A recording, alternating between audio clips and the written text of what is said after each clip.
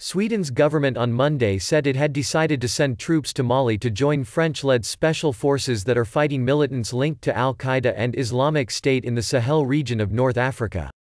The Social Democrat and Green coalition said that Sweden would contribute a rapid reaction force of up to 150 troops and helicopters as part of international efforts to boost security in the region. That, in its turn, will make it easier to carry out development activities in Mali which are needed to promote a sustainable and peaceful development in the country, Foreign Minister Ann Linde said in a statement.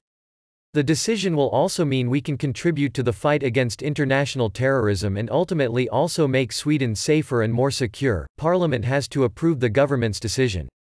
Sweden has had a small number of troops in Mali since 2013 as part of the United Nations Multidimensional Integrated Stabilization Mission. France, the former colonial power, has 5,100 troops in Mali and the wider Sahel, but security has been progressively worsening since it intervened in 2013 to stop a jihadist advance to the Malian capital, Bamako.